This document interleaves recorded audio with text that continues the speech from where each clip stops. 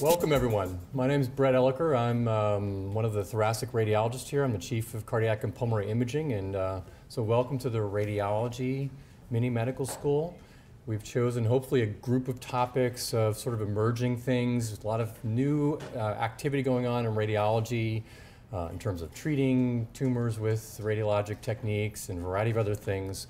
So hopefully we've put together a pretty good group of topics that are interesting and sort of highlight some of the you know, advances in radiology over the last few years.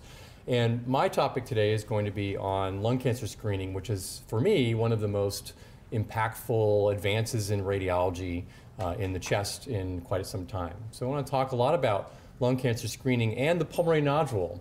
Now, I just add that um, this talk focuses on lung cancer screening, but we see pulmonary nodules on lots of people who have chest CTs. So if you or a relative has had a chest CT in San Francisco, there's about a 50% chance that you also have a pulmonary nodule, and it'd be good, you know, you can become the local expert on, uh, we were talking about this on, in the, uh, beforehand, that you can be like a sort of unofficial, um, you know, confidant for all these people and give them all their advice about what to do with their lung nodule. And hopefully I'm going to teach you actually a fair amount about lung nodules and the significance of them and what they mean and what we do about them in the context of this, but will work really in any situation.